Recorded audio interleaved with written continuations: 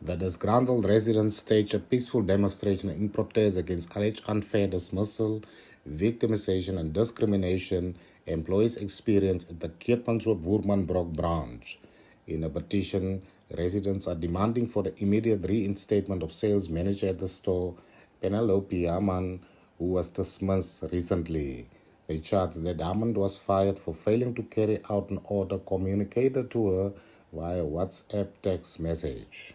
We as a community of Keetmanshoop will initiate a consumer strike against the shopping for goods at Woermann Brock supermarket by the residents of Keetmanshoop yes. not to buy anything at Woermann Brock until Penny with other colleagues are reinstated with immediate effect. The group has given Woermann Brock management until 24 February to respond to their demand.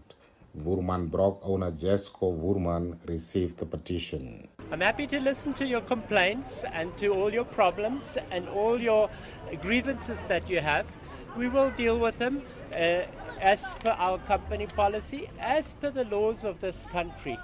In terms of the specific example that you have mentioned uh, regarding Penelope, I'd like to inform you that we followed all the procedures.